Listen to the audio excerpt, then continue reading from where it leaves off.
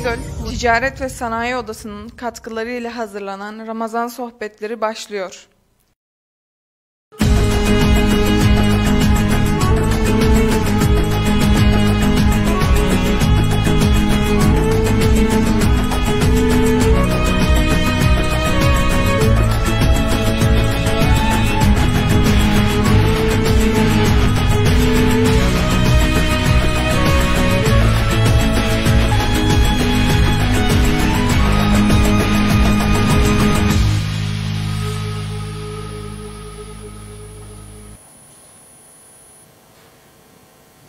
Evet sevgili Kanal İnegöl izleyicileri, sevgili İnegöller, Ramazanımız hızla devam ediyor.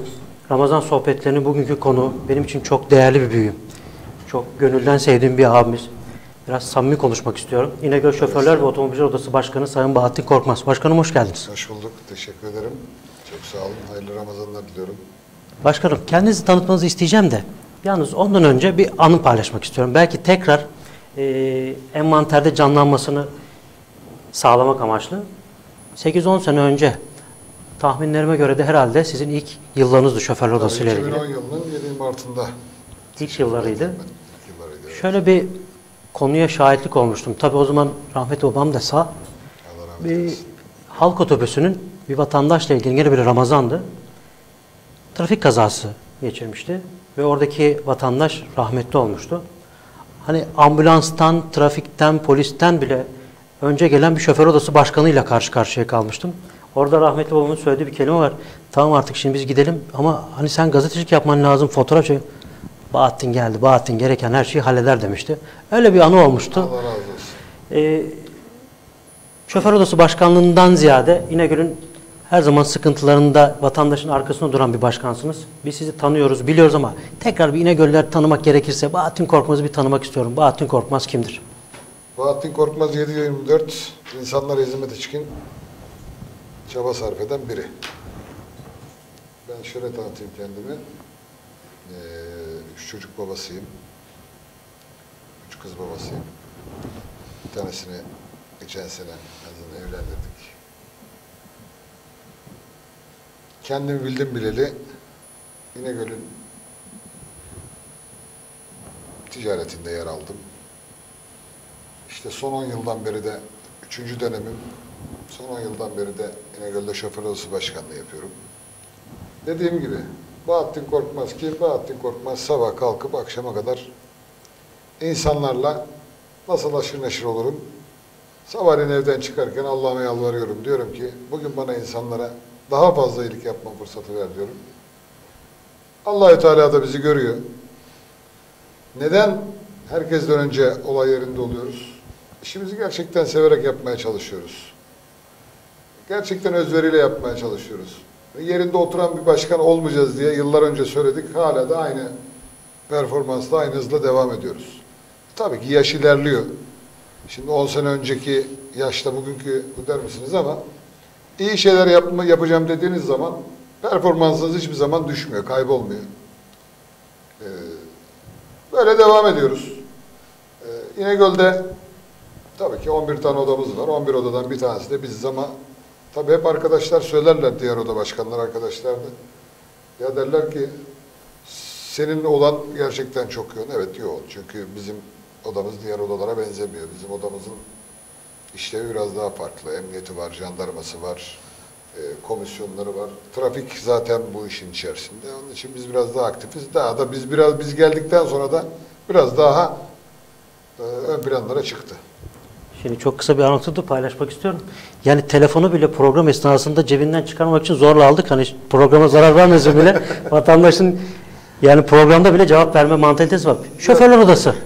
Şoför odası ne yapar? Şoför odası yani görevi nedir? Sizler neler yapıyorsunuz? Şoför esnafına ne konuda yardımcı oluyorsunuz?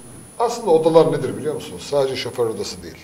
Odalar aslında vatandaşla devletin arasında iyi eğer e, yürütülürse iyi bir köprüdür.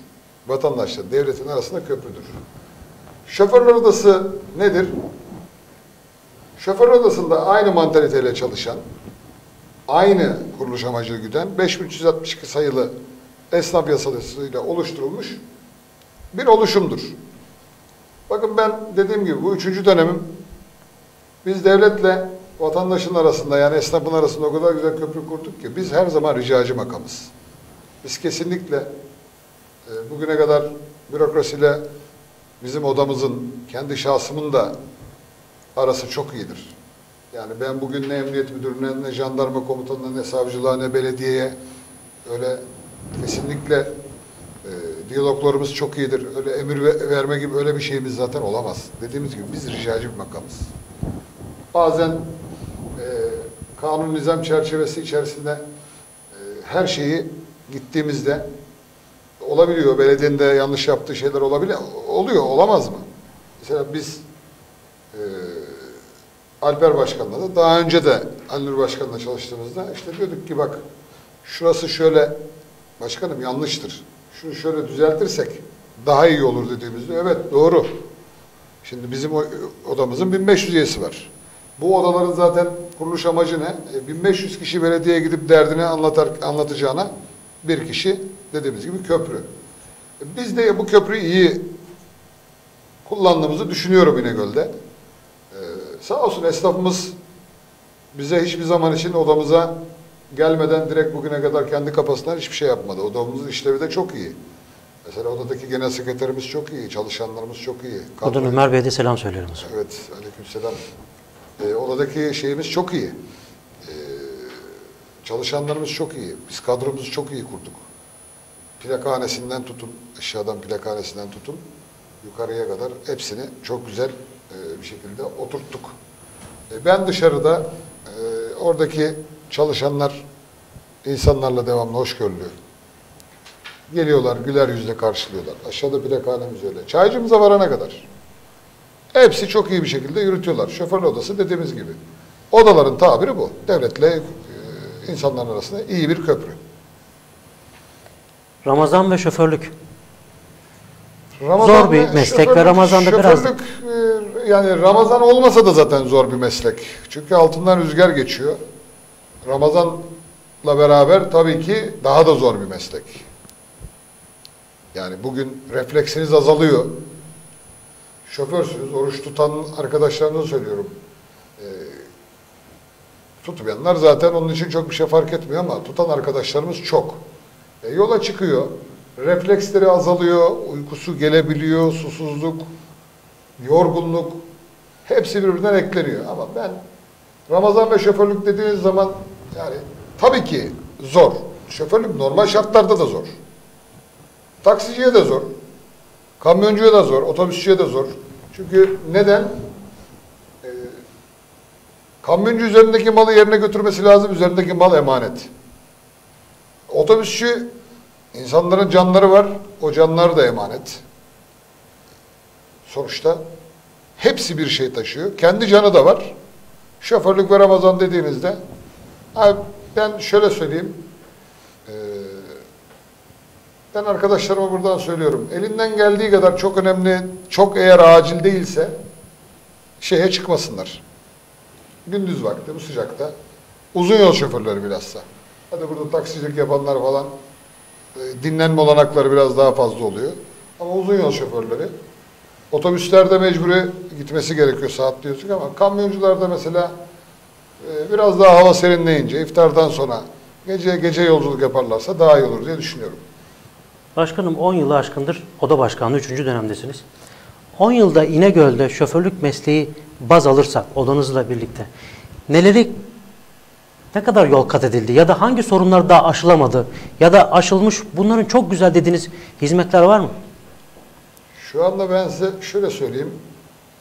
Ee, 2010-2014 arasında Büyükşehir Belediyesi'ne bağlı değilken biz aşağı yukarı İnegöl'de şoförler odası olarak belediyenin de gücünü arkamıza alarak çok güzel şeyler yaptık.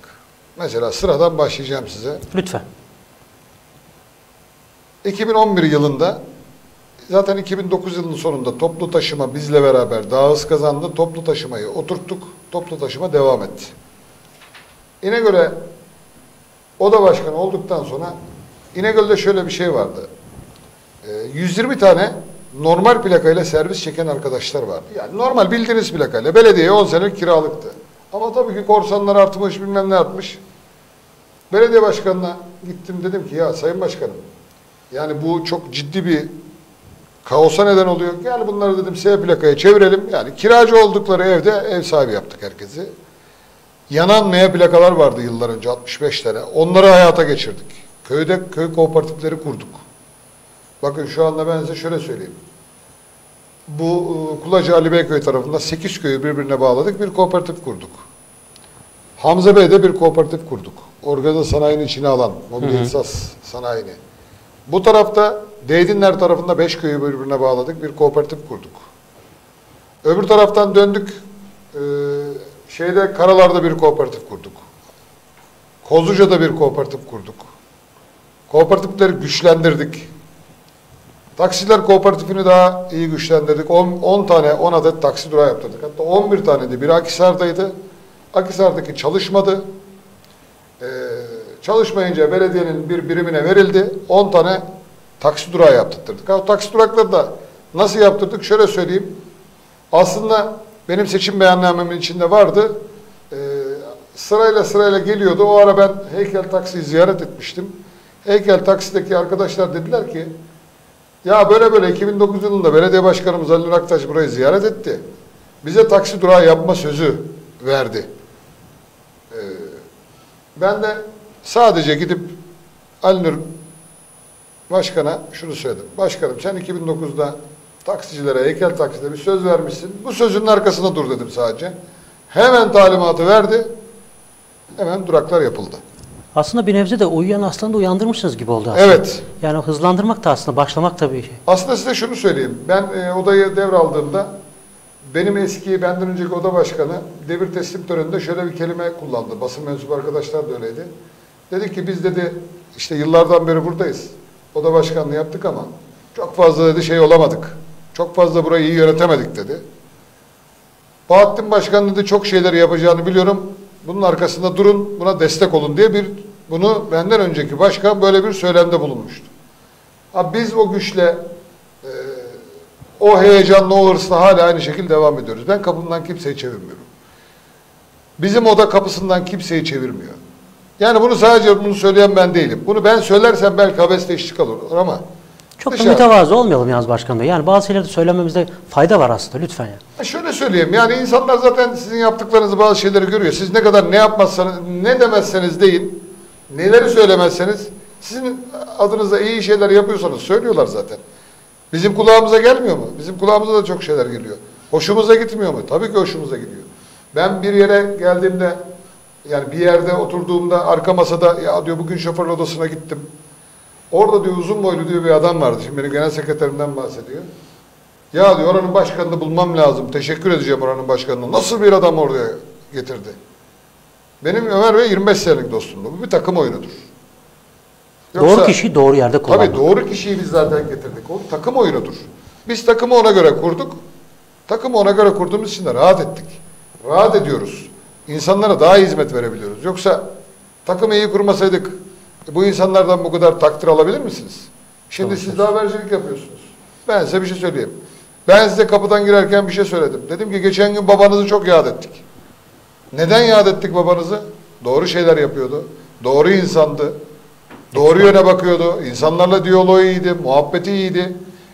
Eski insanlığı çok iyi beceriyordu. Kaç tane kaldık ben size söylüyorum. Kaç tane kaldık gerçekten insanlarla e, böyle oturup da dertlenecek, insanların işini görmek için çaba sarf edecek. Fazla kalmadık. Doğru Onun için Allah bize güç kuvvet versin. Güç kuvvet verdiği sürece de biz devam edeceğiz. En çok şoförler sizin kapınızı hangi konularla ilgili çalıyorlar? Ya şoförün e, şöyle söyleyeyim. Bakın her konuda beni arıyorlar. Neden biliyor musunuz? Her konuda beni neden arıyorlar? Ben çok rahatım. Beni çok rahat arayabilip ulaşabildikleri için beni her konuda arıyorlar. Bakın aklınıza gelebilecek her konuda. Ben çünkü telefona 7-24 bakıyorum. Beni bana gece 3'te de ulaşıyorlar. Bana sabah 5'te de ulaşıyorlar. Ben artık o şeyi de insanlara verdim. Kendi Bahattin Korkmaz olarak. Ya beni neden aramıyorsunuz bu konuyla alakalı şeyini de verdim insanlara. Ee, onu da açtım. Beni her konuda arıyorlar. Sadece bakın ben size söyleyeyim şoförlükle alakalı değil. Hastaneye düşen de arıyor. Karakola düşen de arıyor. Arayabiliyor. Her konuda arayabiliyorlar beni. Sıkıntı yok. Sadece esnaflar mı? Sadece kendi üyelerim mi? Bütün dostlarım arıyor. Cami arıyor. Gerçekten insanların derdi, derdini dediğimiz gibi dertlendiğimiz için insanlar bizi arıyor. Mesela şu an araya gireceğim. Yeni kurmuş olduğunuz e, otopark işinden sonra yapmış olduğunuz oto yıkama ile ilgili işinizde orayı karşıdan incelerken orada çok sevdiğim dostum bir abimiz sizinle beraber Orhan Usta'ya da buradan selam göndereyim. Şimdi kuruluş aşamasında bir tarafta işletmenizin kuruluşu var ama bir tarafta da çay ocağının çay içilebilecek yerin bu tarafın hızlandırılıyor. Yani şimdi karşıdan baktığımda para kazanacak yer ikinci plana atılmış ama eş dostun ağırlanabileceği, müşterinin alacağı en hızlı şekilde hizmet veriyordu. Kendi kendine gelişti orası da aslında. Farklı bir yatırımdı, farklı bir noktaya geldi. Ya öyle o şekilde devam ettik. Ya ben çok daha farklı işler de yapabilirdim. Şimdi o konuya geleceğim. Tekrar döneceğim. Yani şoförlük döneceğim ama hazır ticareti konuşma gerekirse şimdi kulaklarımıza bir böyle ufaktan ufaktan söylemler geliyor. Hani fısıltı gazeteciliğinin vermiş olduğu bir uluslararası ticaretten bahsediliyor. Bununla ilgili bir yatırım aşamasında olduğunu söyleniyor. Bununla ilgili bilgi alabilir miyim? Yani bu firma, kurum, çalışma nedir? İnegöl bunun neresinde olacak? Şimdi İnegöl'ün neresinde olacak? Tabii ki bu gizli bir iş değil sonuçta. İnegöl'ün ticaretiyle alakalı ama biz daha e, daha tam manasıyla yaymadık bu işi. Neden yaymadık? Tam bir oturtalım. Aslında sistem oturdu, yürüyor. Sistem zaten devam ediyordu. Biz dışarıdaki e, özellikle Orta Doğu ya buradan mobilya ihraç ediyoruz. Bizim şirketimiz. Biz inşallah birkaç gün sonra e, iş adamlarıyla, yabancı iş adamlarıyla İnegöl'den birkaç arkadaş olacak bu işler içerisinde. Ticaret Odası Başkanımızı da çağıracağız. Sadece öyle bir hasbihal edeceğiz. Yani işle alakalı değil. Daha sonra bayramın çıkışında nasip olursa İnegöl'de ihracat yapan iş adamlarına e, bir yemekte kendilerine sunum yapacağız. Neler yapacağımızı, İnegöl'den şu anda biz aşağı yukarı First Line şirketi olarak 420-425 konteyner ayda mobilya ihraç ediyoruz buradan. Aslında çok büyük bir rakam.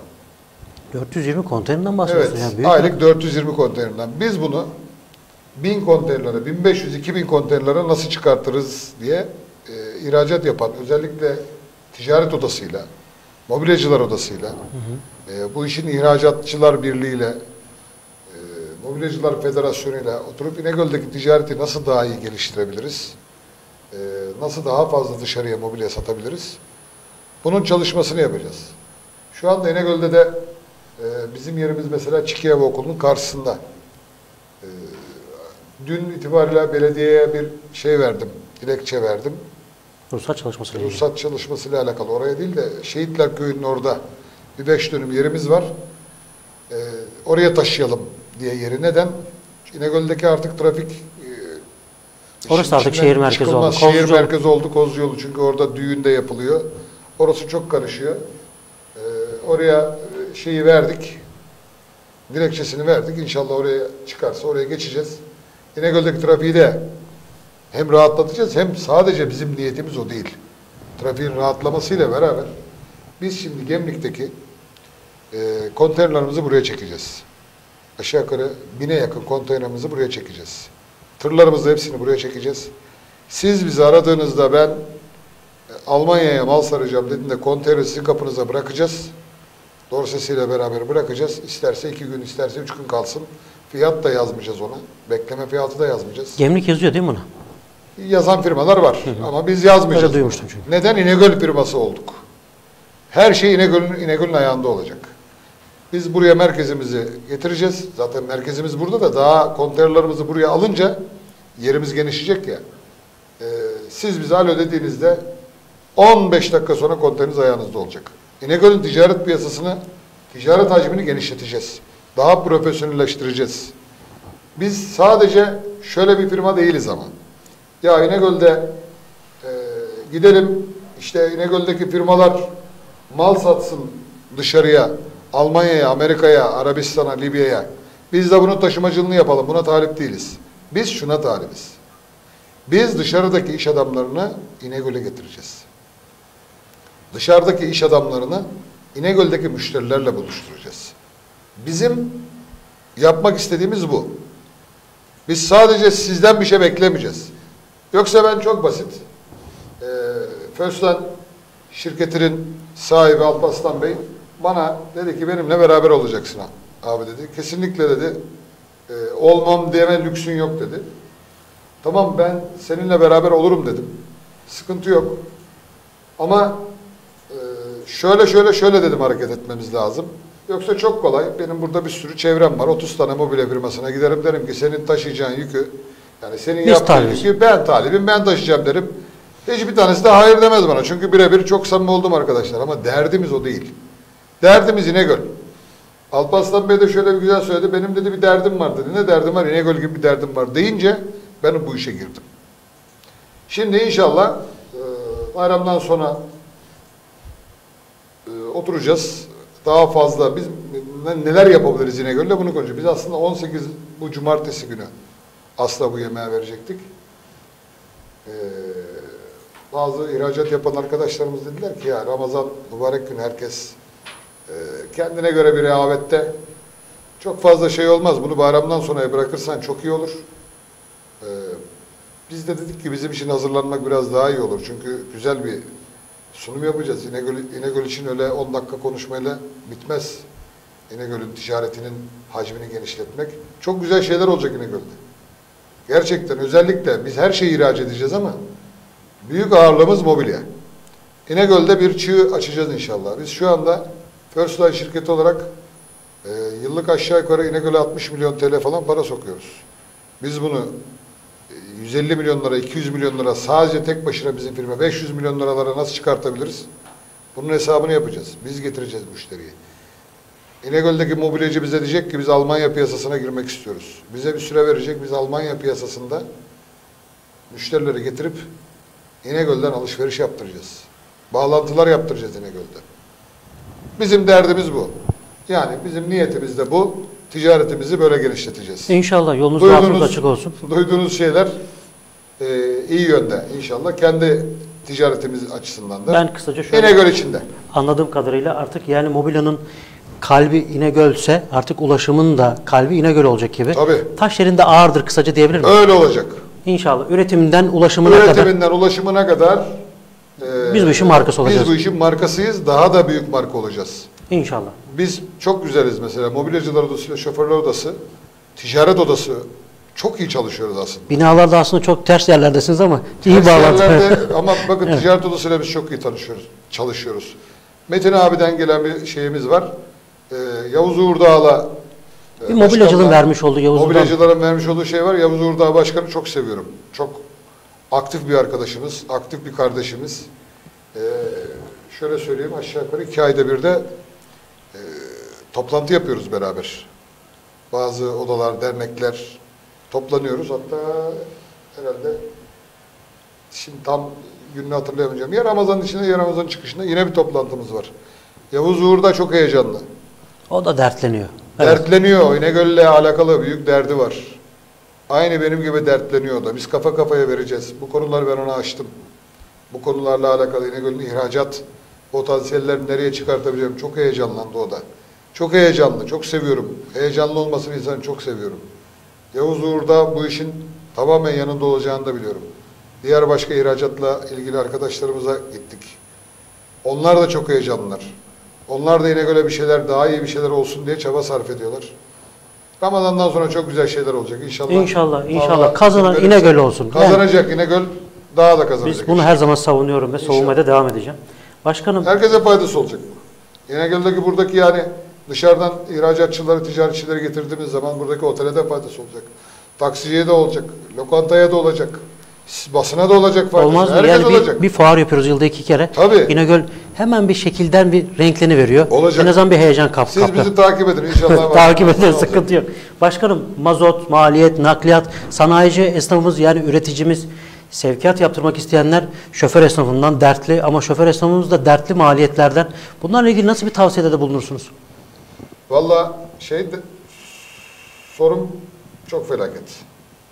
Yani tabii ki mazot, nakliyat yani nasıl söyleyeyim ben size Ee, biz de aslında çok bu işten zevk almıyoruz. E, 6 küsür lira mazot. E, iki- 800 liraya aldığınız lastik 2300 lira oldu. E, efendime söyleyeyim Kredi faizleri had safhada araç alındıysa Araç zaten alma şansımız zaten bitti artık. Yani o araç alma şanslarımız falan bitti. Elimizdeki araçlarla göt- işi götürmeye çalışıyoruz. Bakın ben size şöyle söyleyeyim. Siz de bunu çok iyi biliyorsunuz. İnegöl'deki taşıma dünyanın bak Türkiye'nin hiçbir yerinde yok. Çıkın istediğiniz yere hiçbir yerinde yok. Yani sabahleyin mobilyayı kesiyorsunuz. Akşama nerede? Ankara'da. Sarıyorsunuz Ankara'da.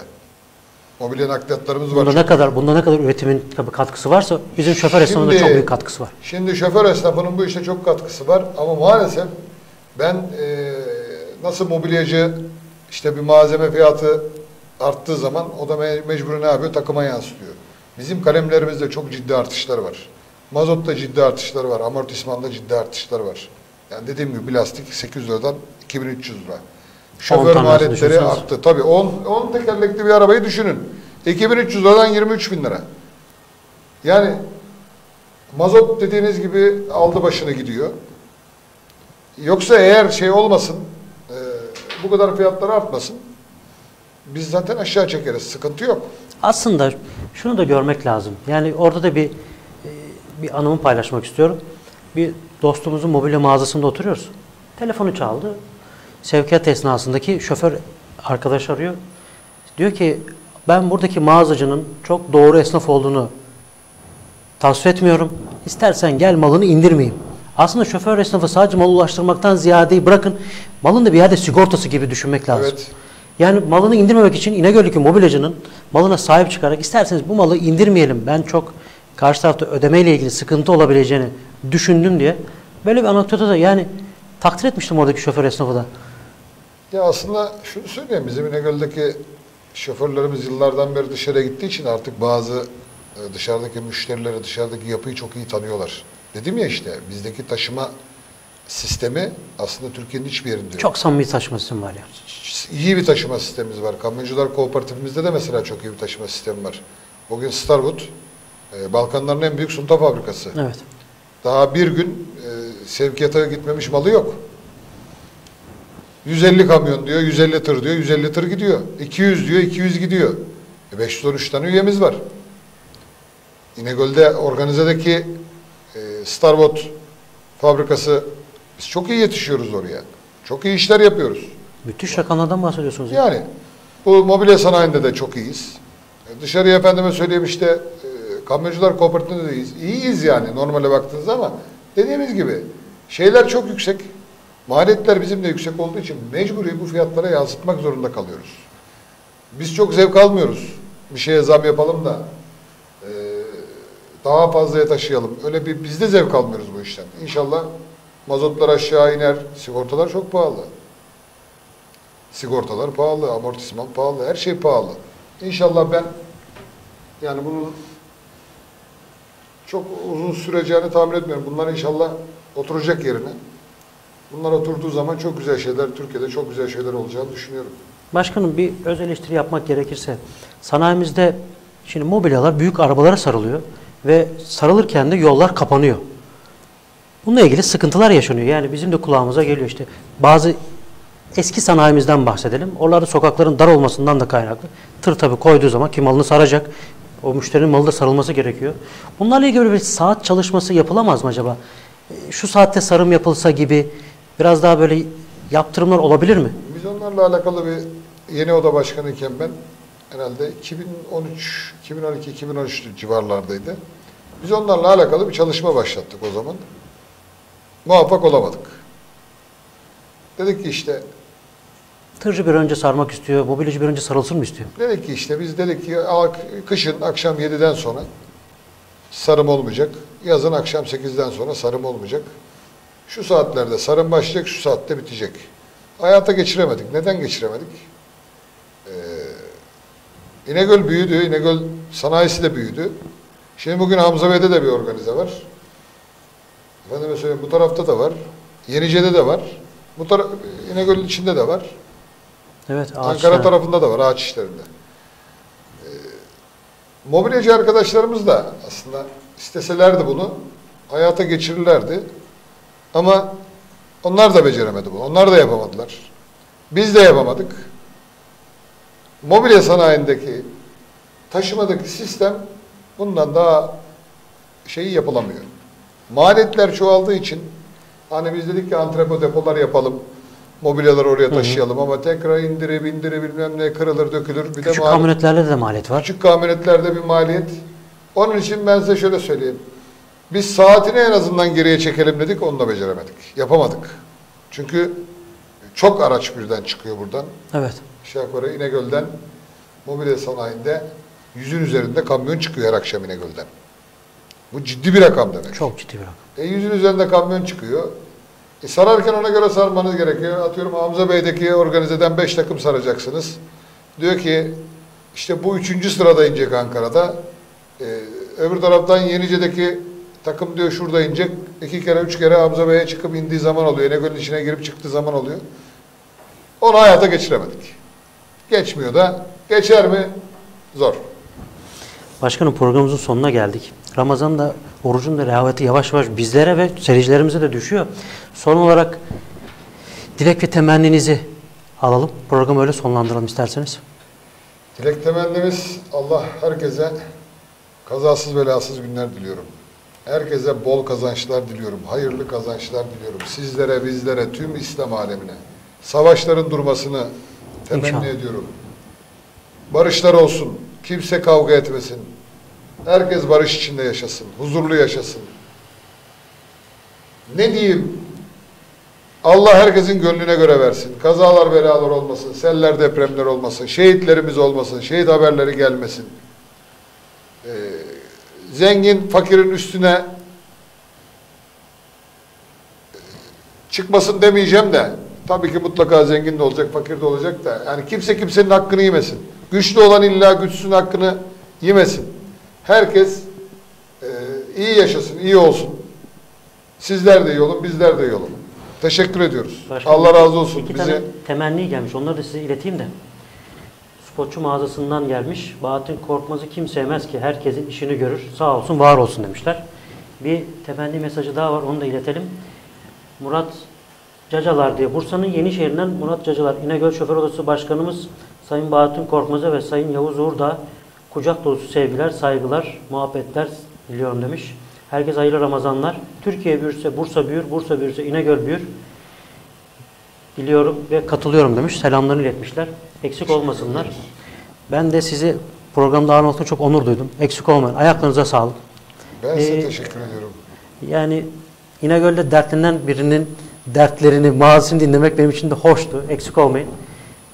Ramazandan sonra bazı sürprizleri tekrar program yaparak biraz daha açıklaya açıklaya gideriz inşallah. O konuyla alakalı güzel Yolunuz yolunuz bahtınız açık olsun. Kazanan her zaman İnegöl olsun. İnegöl her zaman kazanacak. İnegöl'ün ekonomisi de kazanacak. İnegöl'ün insanı da kazanacak.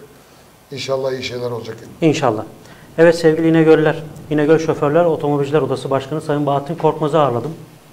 Başka bir akşamüstü programında görüşmek üzere başka bir konukta. Hayırlı iftarlar, hayırlı akşamlar. Herkese hayırlı iftarlar. Hayırlı Ramazanlar inşallah.